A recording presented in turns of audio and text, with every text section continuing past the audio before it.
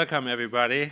My name is Peter Biehl, and I'm so happy to be in a room with wonderful people and celebrating such an exciting event as Grad Slam of this year. So thank you for being here live.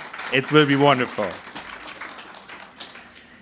Um, so it's the first time here uh, since uh, uh, COVID hit us, and thanking all of you who went through this uh, difficult time, being with your families, with your friends, and here we are.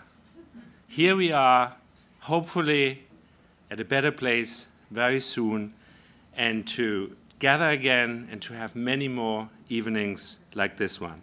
I'm Peter Biehl, the Vice Provost and Dean of uh, the Division of Graduate Studies, and you see it, I'm very nervous. This is my first grad slam. and it's my great honor and pleasure uh, to host this event and to learn with you about the important and exciting graduate study of eight finalists. It is also my pleasure to welcome a really special welcome to Campus Provost and Executive Vice Chancellor Lori Kletzer, who, if you remember, some of you, in 2019 stood in my place in the very same position. And so we are really, really thankful, uh, Lori, uh, that you're still with us, and especially to stepping in because one judge couldn't come and to be one of our uh, distinguished judges. Thank you very much, Lori. Thank you again. Thank you. And I will introduce the judges in a second. And, uh, but before I begin, please take a moment to silence your electronic devices, okay?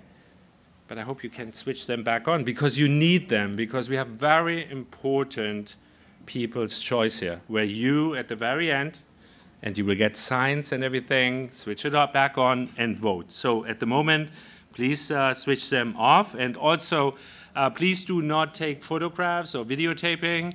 We have our uh, UC Santa Cruz uh, professional team here. It is live streamed, and uh, you can will be able to watch it very soon on our YouTube channel. So um, I will read, which is, as we all know, extremely important uh, for us here at UC Santa Cruz and in our wonderful city uh, in Santa Cruz uh, the land acknowledgement, and uh, you can see it here on the screens. The land on which we gather is the unsettled territory of the Awaswas speaking Uypi tribe. The Amah Mutsun tribal band, comprised of the descendants of the indigenous people taken to the missions uh, Santa Cruz and San Juan Bautista during the Spanish colonization of the Central Coast. It is today's working hard to restore the traditional stewardship practices of these lands and heal from historical trauma. And please join me now to uh, thanking our judges who are listed on the second uh, page of the uh, program. And I will introduce the judges, uh, but please wait with your uh, applause until we have introduced all of them. And if you could, as judge, uh, just um, stand up so that everybody can, can see you. Uh, it is uh, a very great privilege, and as I just learned, and you hear all my accent, uh, the mayor of this beautiful city where I moved eight months ago from the snowy city of Buffalo actually speaks fluently German and lived in Germany. So here we go, Sonja Brunner. Thank you very much to be here.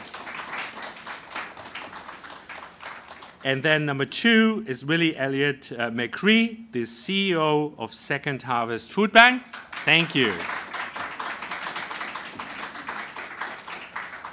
and judging virtually by watching the live stream is uh, Britwal uh, Carrera, uh, the global segment leader of industrial automation, artificial intelligence, and machine learning at Intel.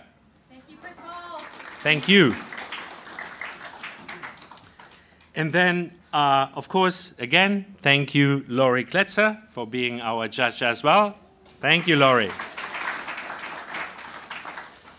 then to Bonnie uh, Lipscomb, the Director of the City of Santa Cruz Economic Development Office. Thank you. Uh, Jacob Martinez, the founder and executive director of Digital Nest. Thank you very much. And Everett O'Keenlin, the exhibitions and project manager at the Santa Cruz uh, Museum of Art and History. Thank you so much. Thank you. And then finally, Christina Waters, contributing editor with Metro newspaper and research associate with UCSC Arts Division. Thank you. Thank you very, very much. It's a, a really great privilege uh, for our graduate students, for us, and uh, to have you here and uh, spend this wonderful evening with us. Thank you. Um, your program lists another judge, Dr. Maruda uh, Luther Maitra, uh, at uh, a UC Foundation, UCSC Foundation trustee and former professor of economics at, at our university, who had to cancel after our programs went actually in print. But uh, she is very much involved with the Siddhartha Maitra Memorial Lecture, which is actually tomorrow. So uh, hopefully some of you uh, can join that via, via Zoom. And she really sends her apologies not to be able to be here. So our judges score the finalists based on seven communication criteria. Clarity, organization, delivery, visuals, appropriateness, intellectual significance, and engagement. On a scale from 1 to 5 in each, being 5 the highest score. I feel like back in the classroom again. Yes, okay, great. I love it. Uh, their scores determine our champion and runner-up. But we have another prize uh, that you, both uh, our in-person uh, audience here and our virtual audience watching in live stream, determine the people's choice and how wonderful it is, really, to have everybody engage in this process. After the presentations conclude, you will have the opportunity to text message uh, your vote uh, and Sonia will uh, really keep an eye on that, that, that and Lorado especially, uh, that everything is in order and then you know when you press the button, or most importantly, switch on your phone again. And, uh, and then um, um, in the event that your People's Choice winner is the same as either our runner-up or champion, then the finalist takes it all, receives both prizes. So. That's uh, uh, our little guidance here uh, of the competition. Our champion, and that is so important, will represent UC Santa Cruz at the UC System-Wide Grad Slam hosted by the University of California Office of the President on May 6 in the beautiful city of San Francisco with Michael Drake, our president, uh, in person there and hosting. And we do really hope that this will be in person. As you all know, Unfortunately, we had to cancel so many things, and I think you all agree being in person makes a difference. And let's do it. Let's do it. So, um, now the question why does UC, uh, the UC Office of the President invest in a grad slam and request that each UC campus graduate division hold a Grad Slam contest. Grad Slam represents one way that the UC system and each campus recognizes and celebrates our valued graduate students and their vital contribution to the university where they teach, conduct research, whether it's in the lab, in the field, in the archive, in the studio, whether they dance or do in microscope, they are our most important part. That's why we're here, our graduate students. And I told them all they should, they're sitting all here and there, they shouldn't be nervous because I'm so much more nervous than them. And they're so much more talented here. We cannot wait to have you here, okay? To make that absolutely, absolutely sure. So, um, and uh, the most important thing is really, if you really look at the uh, uh, at graduate education and how important it is for our discoveries of the most pressing issues uh, of nowadays. But one thing is also important, and that's why we're here today professional development, to giving you the possibility to do the extra thing because you're all brilliant, you're all great, you're all fantastic. This extra thing, going in front of an audience and let the audience hear what you have to say about your fascinating research, but mostly you talk to your professor, you talk to your fellow graduate students, and they're all specialists. Here's a time when you say how important your research is. And we are here really helping you to understand that that is really something which we are all so proud of you that you're doing that here. So increasingly, uh, to communicate effectively, meaning convincingly and understandably to a wide variety of audiences, not just colleagues, as I said, fa uh, factors heavily uh, in your career choices and, uh, and your success. But not only do graduate students benefit from participating in Grad Slam and improving their public speaking, UC Santa Cruz and UC and the UC system benefits from offering the public a view in what we do here at UC so well to overcome town and gown to really have one community here in Santa Cruz, which is the best place in the world, and where we really research the problems which are really relevant for the broader uh, uh, community in California and in the nation and in the world. And that's why we're here tonight, to bring us together, that you see what we do up on the hill. Okay? Yeah.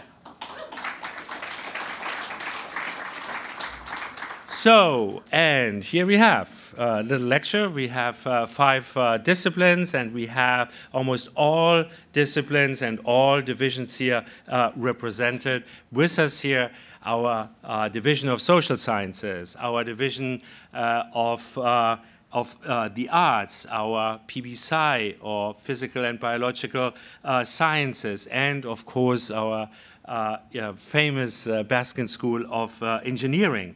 And so we are here all today uh, that uh, really we witnessed you are already the winners, so you already won the pre-contact, and this is only the, uh, the, the final little thing that we send you. We would love to send you all to San Francisco, uh, but uh, uh, that really you, we all know that you already uh, won in the first round. You are pre-selected, and we are very much looking forward uh, to listen to you and really let give them all an applause that they are no longer nervous. You are the best already.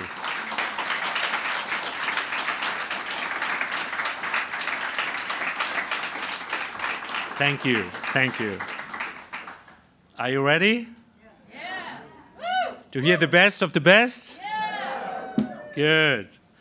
All right. So, our first presenter is uh, Andrea Paz Lacavex and she's a second year master student in coastal science and policy and is conducting her final capstone project on kelp forest restoration in Baja, California. And believe it or not, she drove up here 10 hours to be with you tonight and present her research. Andrea, come on stage.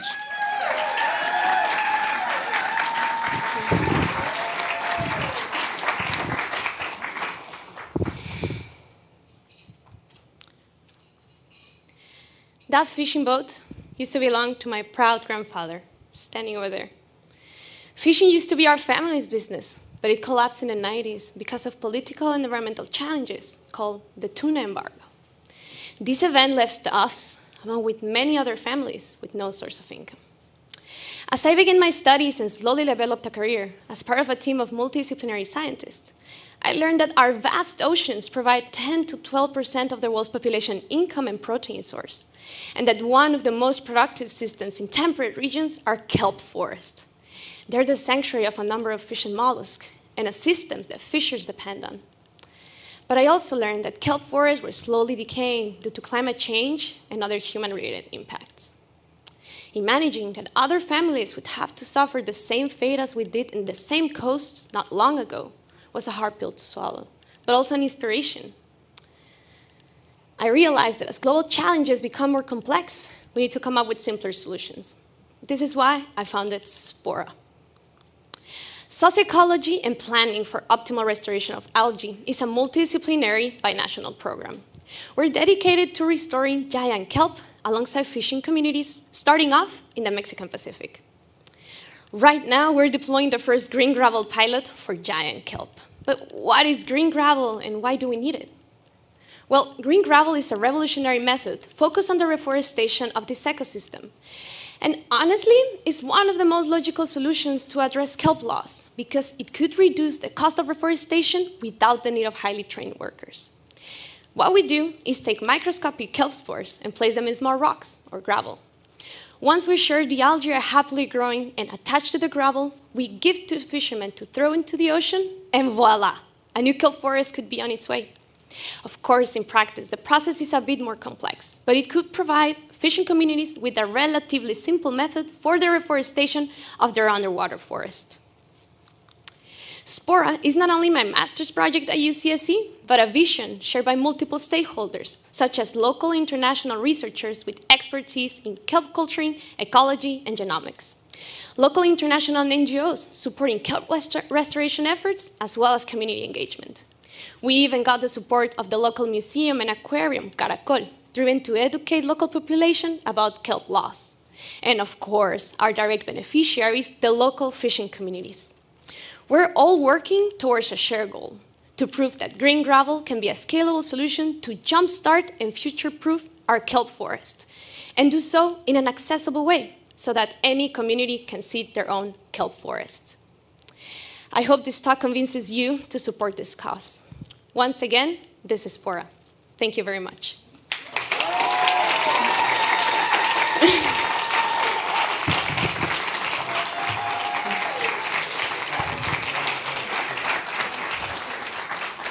Wow, I had I had to sit there because great. I mean, to look at the slides and all that, really fantastic. So um, we do a little interview because the judges need some time also to write their, um, um, you know, what think about the talk. And uh, so let me just ask you, how was the drive up here? It was long, but gladly I shared with my partner. So we had a lot of fun podcasting and yeah, excellent. So, and how how how did you decide on this very particular topic? Uh, and uh, what do you think comes next? Yeah, well, I've been diving the Mexican Pacific for around seven years now, and we hit. There was a huge marine heat wave that consumed part of California's and the Mexican Pacific coast kelp forest, and we have not seen it back as it used to be. So I learned about this kelp restoration technique and it made a lot of sense. So it was only logical for me to try and pursue it and yeah, trying to make it uh, accessible to the communities because there's a great potential for adoption as they, we have a bottom-up management, fishing communities uh, manage their own ecosystems, not so much from the government perspective.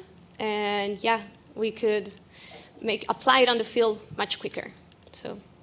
Fantastic. Yeah. Can I ask you about your grandfather? Yeah, please. So uh, her grandfather was a fisher, and uh, tell us a little bit about you know how he influenced you in regard to really falling in love with the ocean and doing really what you're so passionate about. Yeah, it was actually a coincidence that it took me a little while to realize that I was also so interested in coastal systems.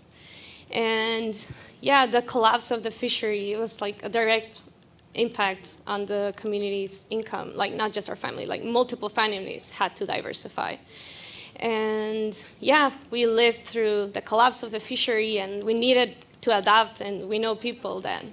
like we even find them in the stores like, hey, I used to work with your grandfather and yeah, realizing that there's so many communities that depend on this kelp forest to, for their income in remote areas when there's nothing else. Um, yeah, it's really inspiring how proud must your family be of you? Really fantastic.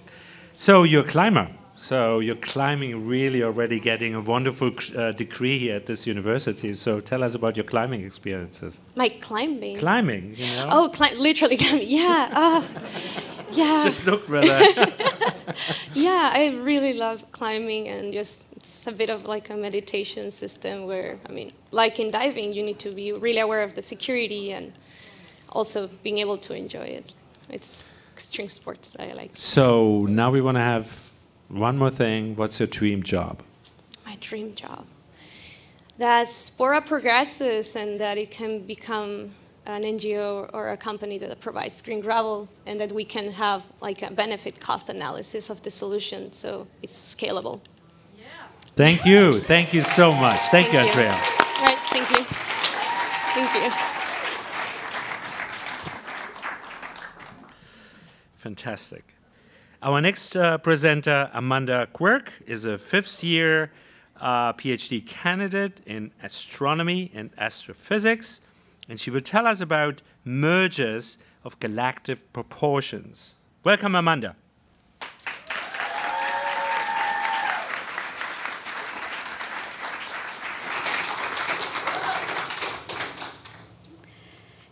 Were to truly study a galaxy's life, we would need billions of years to watch it form and grow. Now, that is way longer than I plan on being in graduate school. So, to figure out how galaxies change over time, astronomers like me have to act more like archaeologists. We look for clues that represent a tiny snapshot into a galaxy's history. Now, a whole lot can happen to a galaxy in billions of years. There are violent bursts of star formation, energetic deaths of massive stars, and collisions between galaxies. I'm particularly interested in those collisions called galaxy mergers or galactic cannibalism. Mergers tear apart smaller galaxies while feeding larger ones. They can completely change the way a galaxy looks and behaves, so they are a critical part of a galaxy's evolution. I look for signs of mergers in two nearby beautiful galaxies, Andromeda and Triangulum. To study these galaxies, I use one of the largest telescopes on Earth to observe stars in them. You see, the thing about stars is they're gossips. They give away many of their secrets just through their light. With cutting edge technology, we can measure how fast a star is moving while we are millions of miles away. I use this to compare how fast the young and the old stars are moving. If there's a difference, then we think that something must have happened to the galaxy in the time between when the young and the old stars were born. And that something just could be a merger. Using this technique, I found that the Andromeda galaxy likely had a major merger in the past 4 billion years. Now, this is relatively recent and actually changes what we know about the kinds of mergers spiral galaxies can survive. It also calls into question its interaction history with its smaller neighbor, Triangulum. So, for the past four years, I've been observing stars in Triangulum, and I've found that there's not much difference between how the young and the old stars are moving. This suggests that, so far, Triangulum has been left alone by Andromeda and by other smaller galaxies that have passed by recently. But it won't stay that way forever. Triangulum will collide with Andromeda in billions of years. And it's actually not the only one. Our own galaxy, the Milky Way, is also on a crash course to colliding with Andromeda in the far future. We won't be around to watch that merger, but the work I'm doing today does give us a glimpse into the future of our own galactic home. Thank you.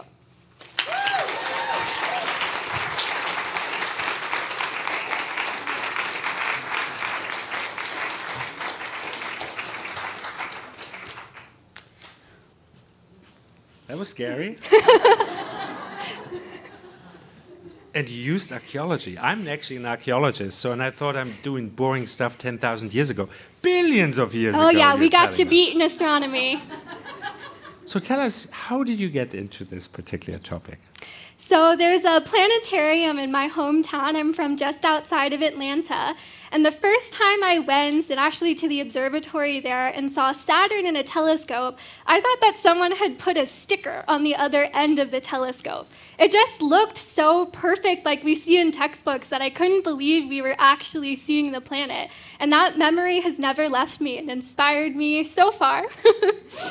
wow, good. And so, again, anthropologists, you're using a lot of anthropological terms, cannibalism. So, Is that in your field accepted that you do those things? It is very common amongst galaxies to cannibalize each other. In fact, it's so important that's how we have the galaxy that we have today. It ate a bunch of smaller galaxies over billions of years. We can see remnants of them in the outer part of the galaxy. But without these mergers, we wouldn't be here today. Okay, good. your dream job when you finish and get the best PhD ever? yeah, I would simply love to teach at the college level. I really love sharing astronomy with others. I think everyone can think about their place in the universe and how we got here, and I think that's really special. And tell us now about snorkeling. Snorkeling, so as because I you go under, you know that's yes. different. You look normally up, but here. Yes, I try to remember to admire the world around me too instead of just looking up at space. But I'm very fortunate um, to use the Keck telescope, which is on Mauna Kea, which is a very sacred site for the indigenous Hawaiian community. And so while I'm there, I get the opportunity to snorkel with some amazing creatures like manta rays, which is my absolute favorite to do. Wonderful. And our favorite here is not to think about our future, but uh, wonderful and great job. Thank you very much. Thank you. Thank you.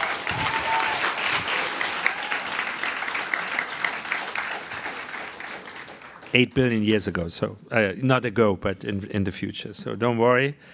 Um, so our third presenter is Melissa Marini uh, Švigelj, and she is a fourth year PhD candidate in education with an emphasis in sociology. And she has taught some uh, of the most underserved and vulnerable children in our society, those who are uh, incarcerated. She will tell us about how she is working to improve their educational outcomes with, uh, with her graduate work. Please join me uh, to welcome here Melissa.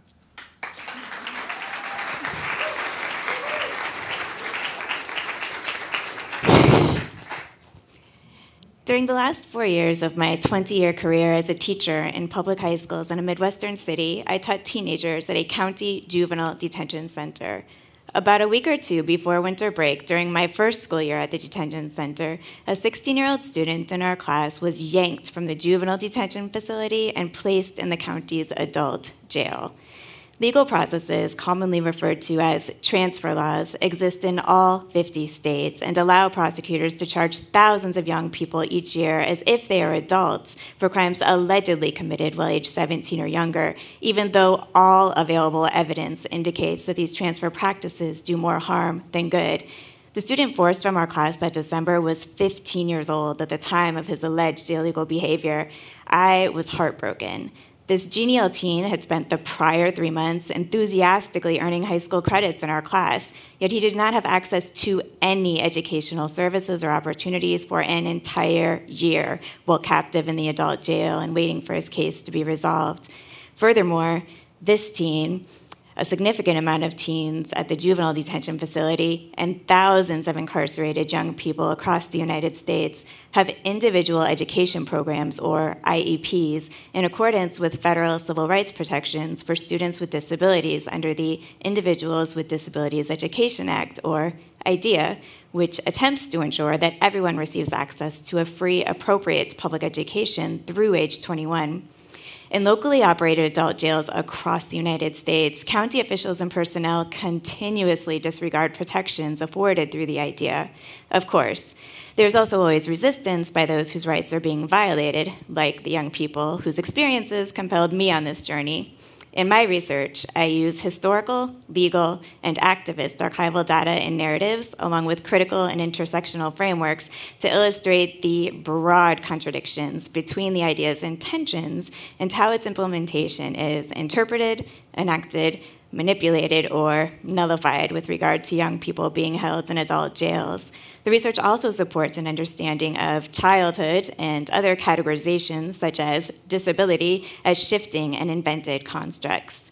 I'm interested in the limitations and potentialities of the IDEA and this issue of educational access in adult jails as a component of movements for transformative justice, abolition litigation, and local level decarceration.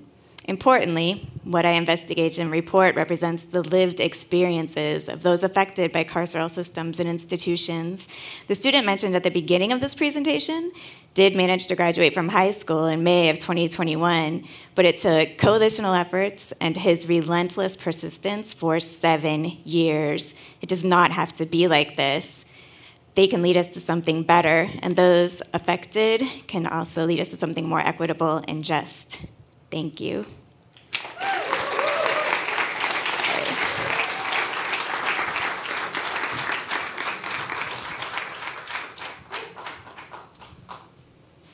Yeah, thank you very much for uh, your work, and um, I think we all share uh, the, being touched about uh, uh looking into this part, and uh, so thank you, thank you very much, Melissa. Um, so clearly, the question comes to mind: Why you're interested in in this particular topic? Uh, what was the journey, the word you used earlier on, to this particular topic? Right. I was very unfamiliar with um, how education in carceral systems operated until I began teaching in one, and I began teaching in a detention center because I was about to quit teaching entirely after 16 years. Um, we had been fighting things like high stakes testing and merit pay and the expansion of charter schools without any sort of um, regulations and um, I was reached out to by the district's principal, and they asked me to interview for a position at the County Juvenile Detention Center. So I ended up staying and teaching for four more years and um, grew very passionate about the issues there as I was about education before I taught there. And what is your dream job after that? Um, probably now it's something that hasn't even been imagined at this point. Something um, beyond, yeah, after abolition and uh, systems that don't even exist yet that I could contribute to in some way. Wonderful. So, our kids go to the same school, right? Uh, Santa Cruz High. So, uh, yes, and yes. your son gets a diploma, and you have other three kids. And uh, tell us a little bit about your family and how you manage, really, which is so fantastic to work so hard and, and have a, a wonderful family.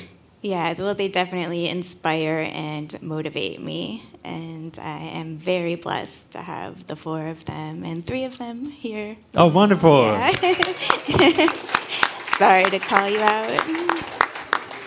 Yeah yeah, they're definitely all of the joy and happiness in my life. The greatest moments, anyway, have come from interactions and events with them. Congratulations, and thank you very much again. Thank you. Thank you. Thank you. Thank you. Thank you.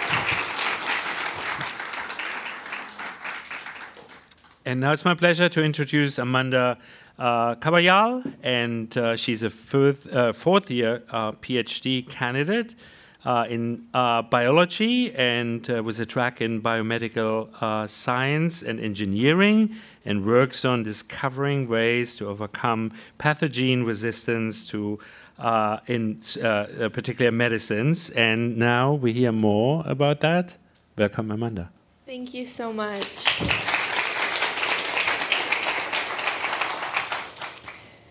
So, if the current global pandemic that we're in has taught us anything, it's that microbes hold immense power.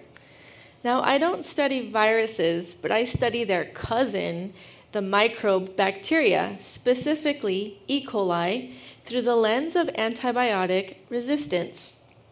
Experts in the field of public health microbiology and epidemiology have made a harrowing prediction that by the year 2050, more people will die from antibiotic resistant bacterial infections than all cancers combined. In order to come up with a solution to this problem, myself and my lab, the CAMPS lab over at UC Santa Cruz, study clinical samples derived from patients throughout the United States in order to come up with a solution. Now, mutations are very powerful, but generally speaking, they are also benign. They can also be benign right? Mutations are what allow E. coli these special powers to overcome the drug mechanism of action. And so, what I do specifically is I use technology like whole genome sequencing to make a map of all of the mutations and their locations in each of these clinical strains. And what I do is I try to understand how each of these mutations specifically contributes to this problem. And so, if we're thinking about mutations like X Men, they have these special powers, but I need to test them out to see exactly how they're able to overcome the drugs. And so, I use a very diverse set of chemical compounds, including the current arsenal of antibiotics available, to map out how these mutations work. In addition to that, we also work with medicinal chemists so that we can derive novel formulas to create these antibiotics that can overcome the special powers that these genetic mutations confer these bacteria. The great thing about E. coli and their mutations is that by also studying this specific strain, we can learn more about other types of pathogens since they follow a lot of the same patterns and are genetically conserved in many ways. And so, by combining our special ability to do whole genome sequencing and basic science at the wet lab bench, we are able to stay one step ahead of the next predicted global pandemic. Thank you so much.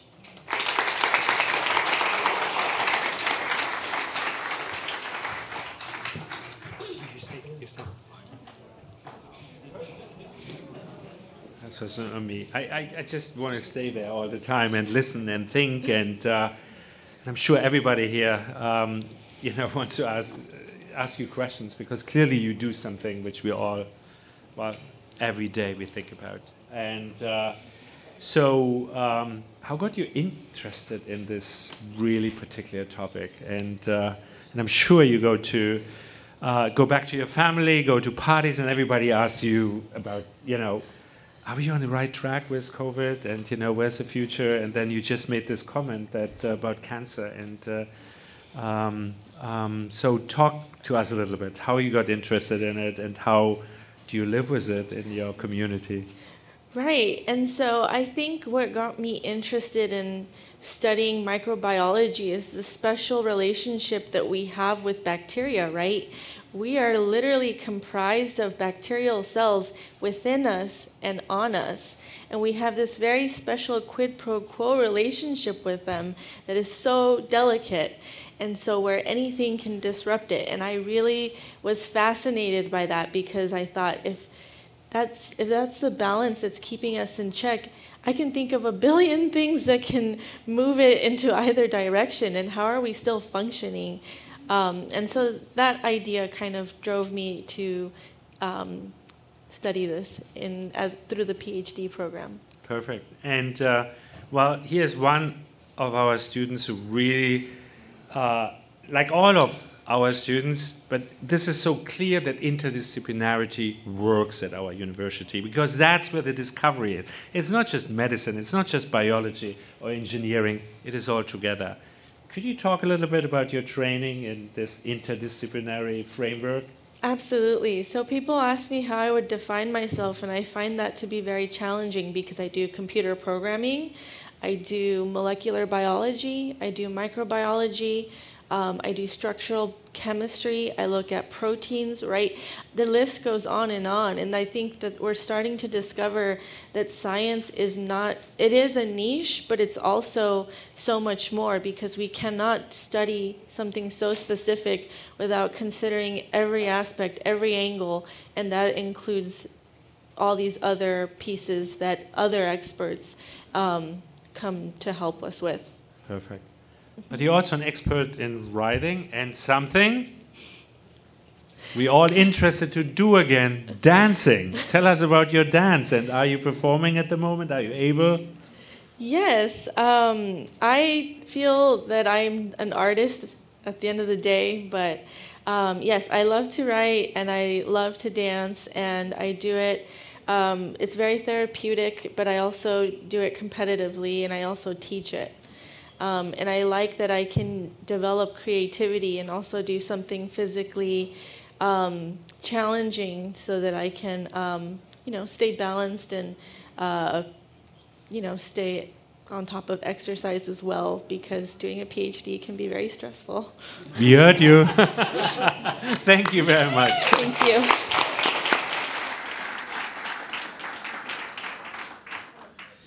And now it's my great pleasure to introduce uh, Ontario Alexander. He's a first year PhD candidate in musicology, and he's going to tell us his effort to revive and the interest in the 18th century singer and polymath Joseph Boulogne.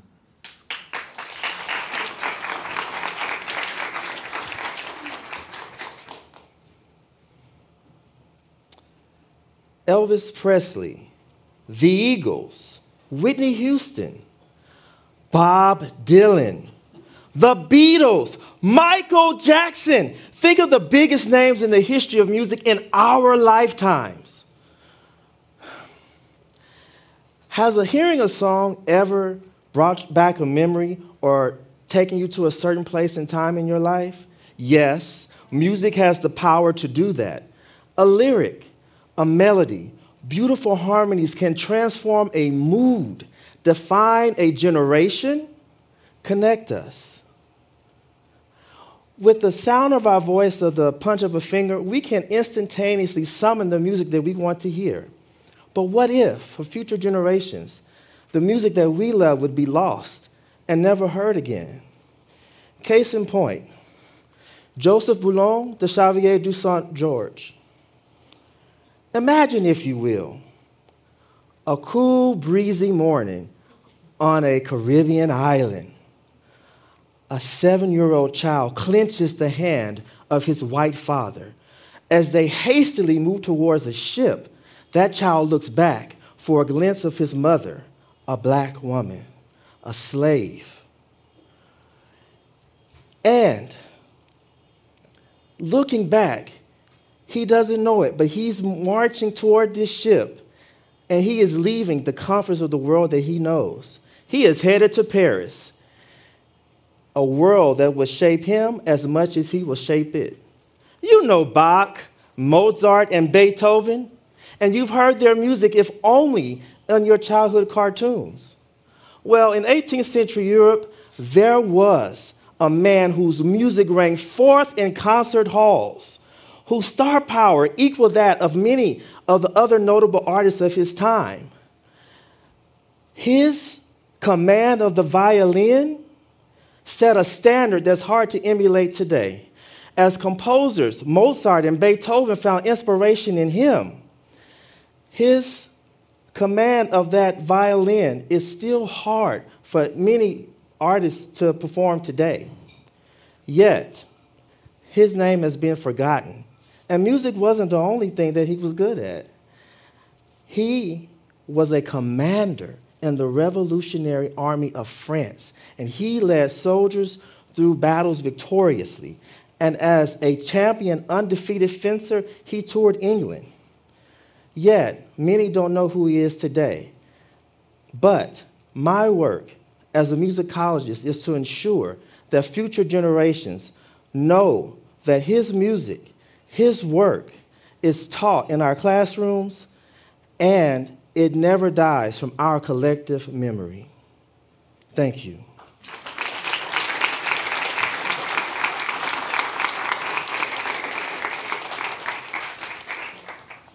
Thank you so much. And I, I learned now from you, and I can't wait for your PhD to be important and to be really showing what you really are passionate about and bringing that in one line with the other composers we, uh, we, we all know. Um, but how did you find that individual? Uh, well, I was taking a class when I was at Cal State LA, and I glanced through a book and I saw this picture, and I said, Who is he? I've never seen him before. And so from there, it sparked an interest. And then when I came here, I took a class, and a professor suggested, she said, Do you know uh, Joseph Boulogne? And I said, ah, I'm kind of familiar with him. And so from there, I've started to uh, put together the research. So, do you have already a contract with Netflix? No, I'm kidding. But uh, so, I mean, do you? Where do you see your career from here? You know, clearly you're at the very beginning of the journey of a PhD. It's a really long journey. But do you see maybe, especially in a topic like that, some other venues for you to fulfill your dream? Well, the ultimate goal is to become a professor in the university. This summer, I will be going to Paris for intensive language study in, Fran- in French, and I will also uh, be doing archival research while I'm there. Wow. So, um, and you play music as well? I sing and play the piano. Do you want to sing something? oh my God, on the spot. Oh, oh my God, what do I, oh Lord, I don't know. I'm sure you can. And, uh, but uh, um, we would like to thank you very much, really, to bringing, you know, not just for three minutes. I'm sure some of you have already looked at Wikipedia and really maybe tried to find some music Thank you for your discovery. Thank you for your passion. And good luck uh, pour Paris. Ça, c'est une bonne ville. Thank you.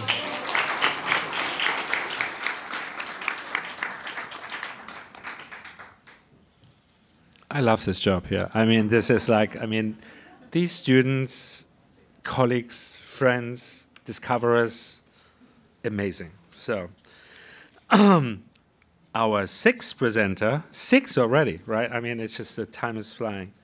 Sara Gonzalez, and she is a six year PhD candidate in ecology and evolutionary biology. Uh, and she, as we heard early on from our very first candidate, she's interested in giant kelp. And she uh, will tell us something how that is connected to genetics. Sara.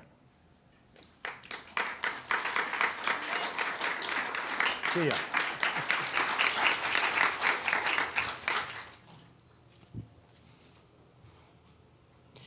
Toothpaste, ice cream, probiotic capsules. Can you guess what secret ingredient all of these things have in common? Seaweed. Actually, a specific type of seaweed called kelp Natural chemicals from kelp are used in these everyday products and more. It's one of the main reasons that kelp is harvested and cultivated around the world. So, what makes these kelp chemicals so special?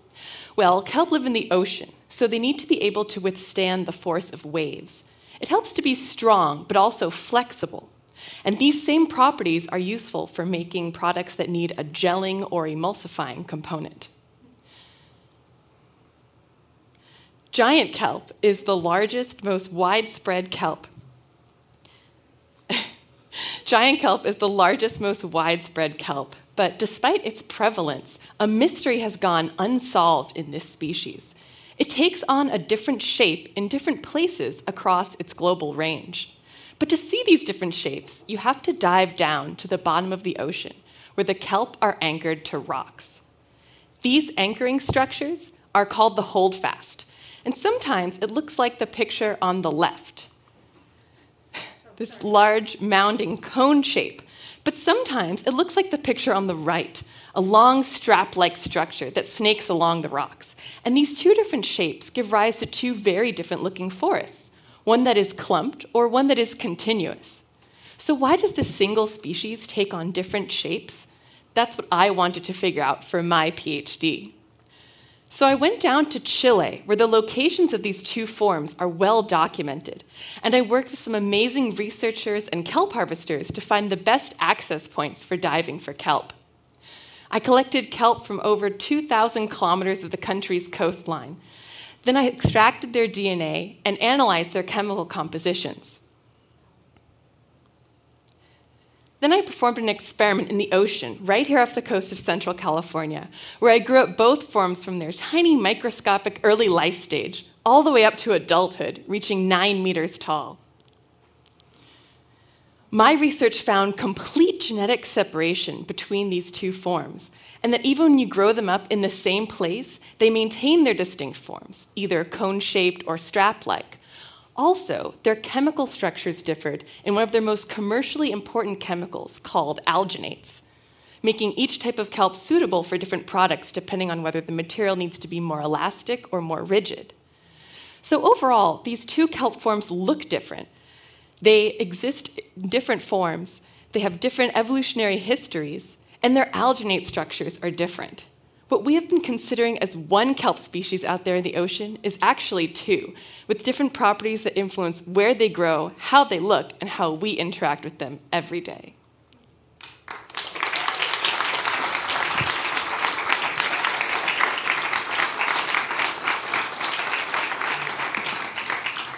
Thank you so much, and uh, sorry about the little uh, Yeah. hiccups. Uh, No worries. No, no, no. This is no worries. It was our fault, and uh, no problem at all. So, um, tell us how you got into it. And clearly, I love this photo. You, you so, tell us about your passion. Why this topic? Yeah, well, what I really love about kelp is that it has such an importance in marine ecosystems, providing a habitat for lots of fish and other marine creatures. But it also plays this really important role in human societies by providing these chemicals for different products, and even the kelp itself used as food, as fertilizer, as biofuel. So I really like that aspect. And give us hope that we can restore and keep it, that it's not disappearing. Yeah, there's lots of efforts out there trying different methods. We heard one earlier from Andrea about ways to restore kelp forests. I think it's really fascinating. I also think kelp aquaculture is really interesting, a way to produce lots of kelp biomass for these different products. Um, I think there's a lot of hope there for kelp for the future.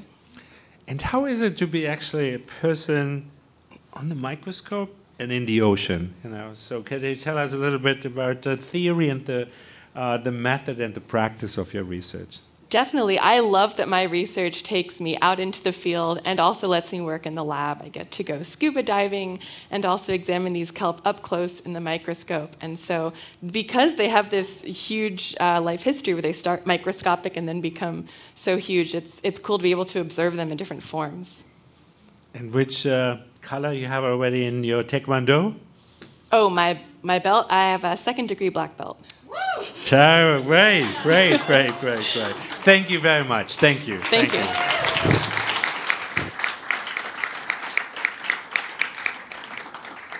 So it's my great pleasure to introduce Elise Duffau, and uh, she's a third-year PhD student in psychology, and she studies politeness and uh, how informants our increasing interaction with and reliance upon artificial agents like Amazon's Alexa. And uh, here we go. Welcome, Elise.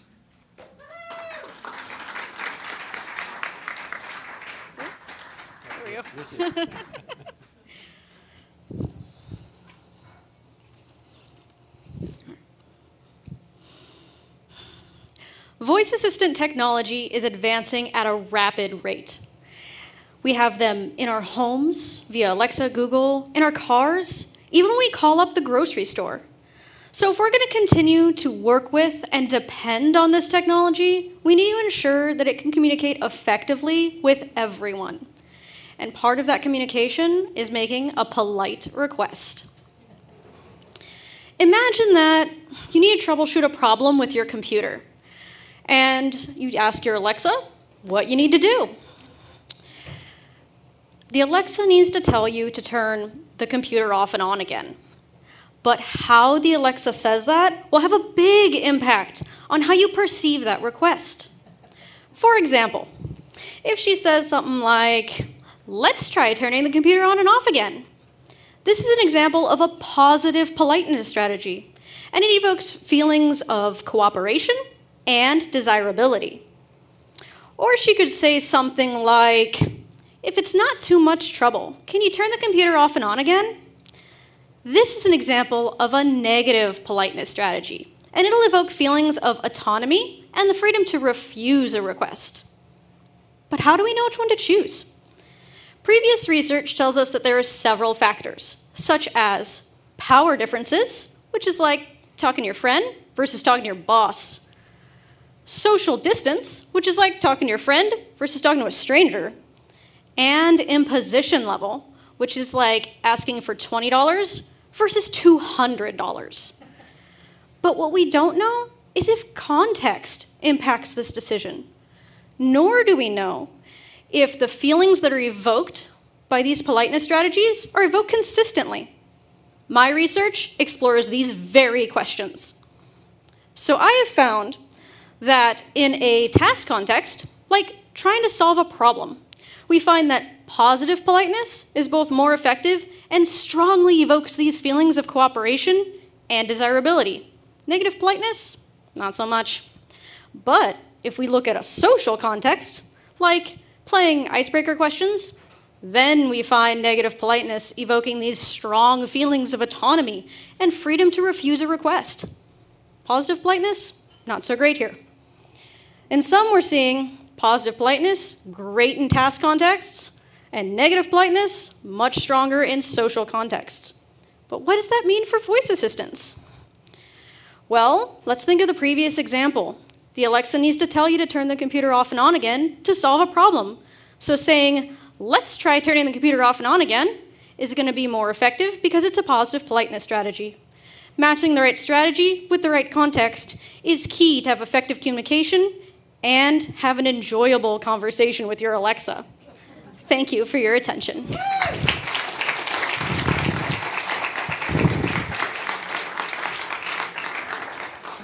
Hey Siri, how are you? No. right? so, uh, again, same question. You know, I would like to ask everybody, how did you get in this really amazing research? Well, that's actually kind of a funny story, to be honest. Um, part of it is due to COVID um, and having to make a quick pivot on my research. But really, what kind of sparked it is one day my Alexa told me to have a good afternoon. And I was like, wait, what? and so I was like, all right, well, what about this politeness thing? Like, it was kind of cool. I kind of liked it, but it was weird. And so I was like, let's let's explore it and see how it works. Great. And how would and how about an internship? You know, over over the hill there. Would that be something? That is definitely something um, I've been interested in. Um, I've been kind of waiting. I've been really developed in this um, this politeness research, and it is something I'm looking forward to. I'm very interested in user experience research, um, and I'd, I'd, like going into industry. Like that'd be really cool. Um, I know you haven't asked me, but one of the things I'm really passionate about is making a social artificial agent. So like you can actually talk to your Alexa and have a conversation. Like how cool would that be? Very cool. Very cool. Do do you speak to your plants? Uh, She's yes. a plant lover, so. Yes, um, I do. I, I, I'm polite to my plants. I've got some little Venus flytraps and some pitcher plants, and I, I am polite to them to encourage them to grow and to catch all the bugs that I don't like. Wonderful. Thank you so much again. Thank, Thank you. you so Thank much.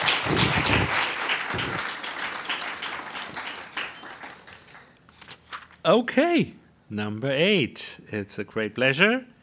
Our final candidate is Jessica Kendall Bar, and she's a fifth year PhD candidate in ecology and evolutionary biology who's been tracking what happens when elephant seals sleep at sea. Okay? And uh, we want to hear about that. Jessica.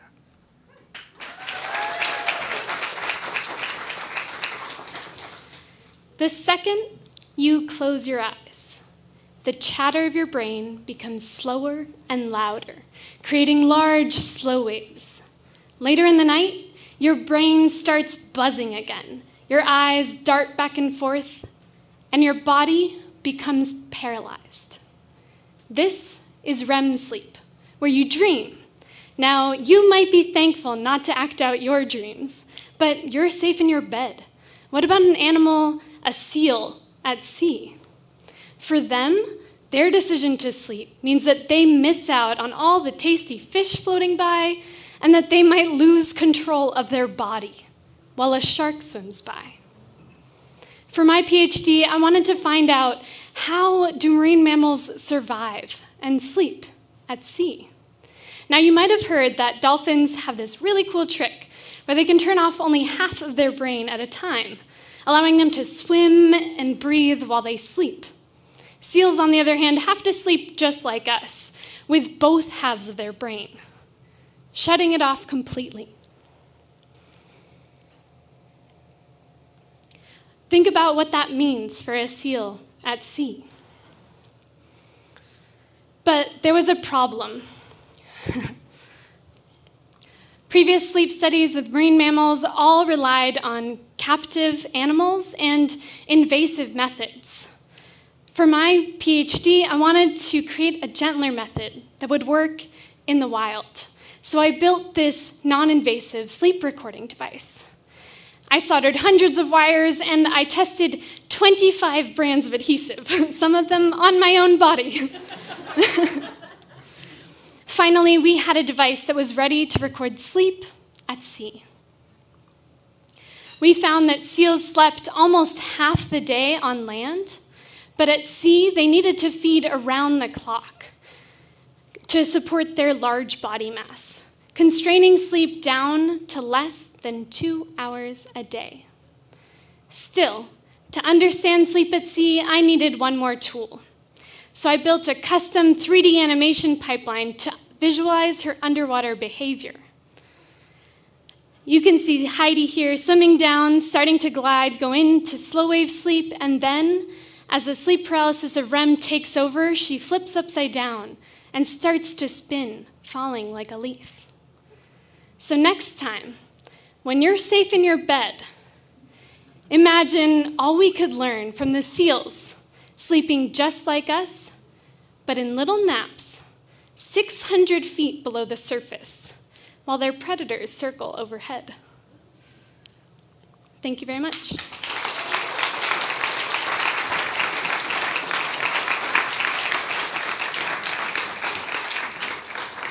Really, really fascinating. so, and uh, who did help you build those uh, equipment? I mean, YouTube. and a lot of generous friends who um, sat down and watched me solder.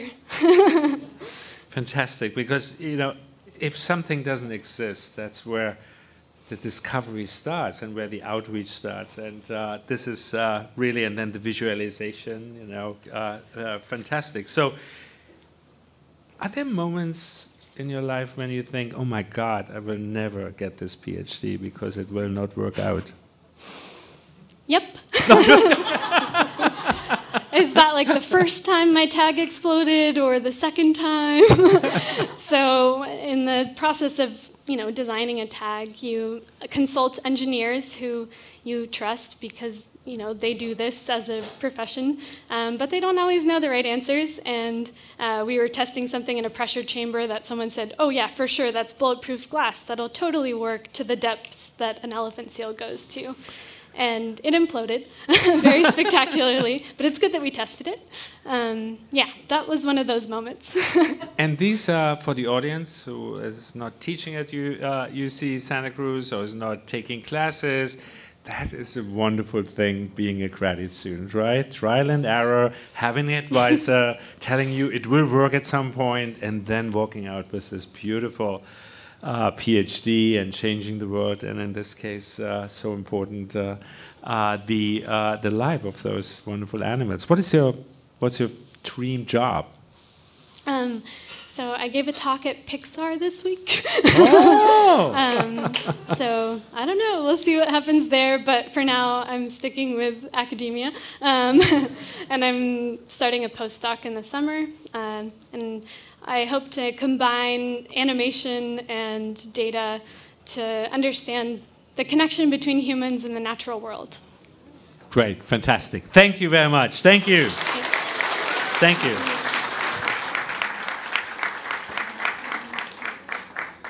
I mean, I don't want to be on your seat now. I do not want to judge this. I think these are amazing students with amazing topics, and you are all superstars. One more applause.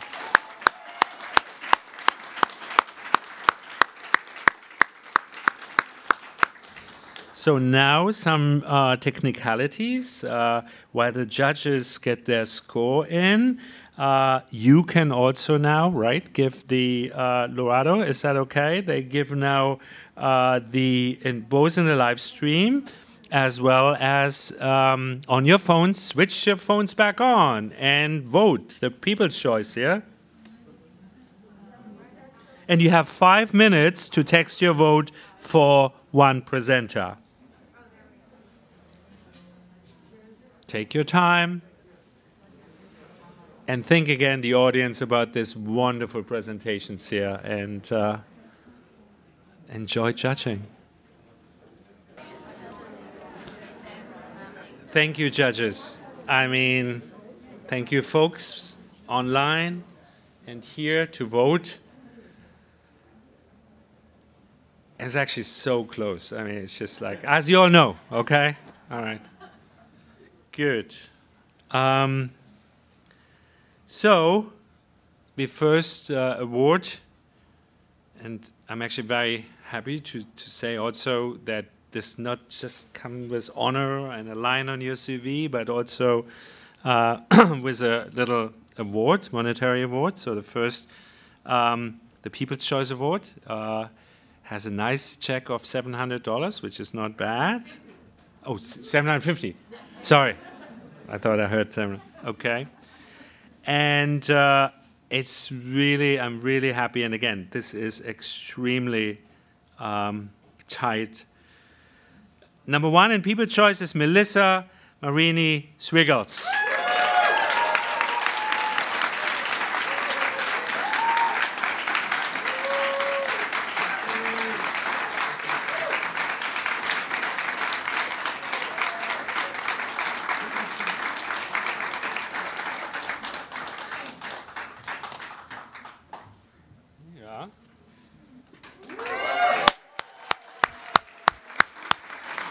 and and and now also we want to see this family stand up because I couldn't see it before. Please stand up, family.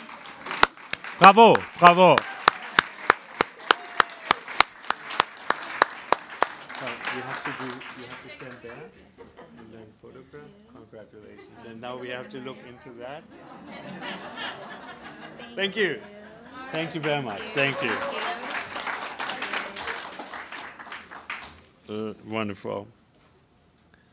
Now, the second place for our judges was a, and I'm looking at you that I got that right, $1,500? $1,500, second place. And again, it was so awfully close. Second place go to Jessica Kendall Bar. Jessica.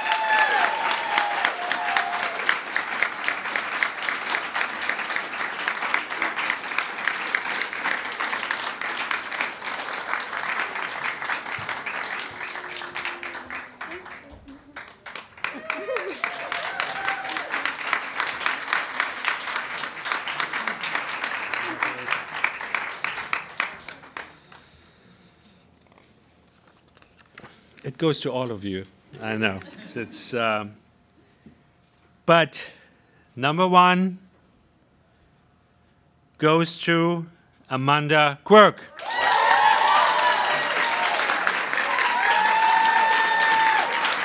With a nice check of $3,000.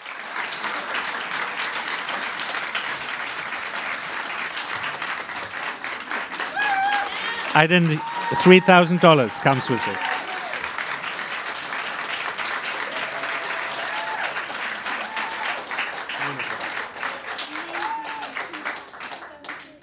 So, um, this is amazing, and um, I thank you, all judges, audiences coming out here, being together, celebrating the talent we have here at UC Santa Cruz and the wonderful city of Santa Cruz. Thank you all very, very much.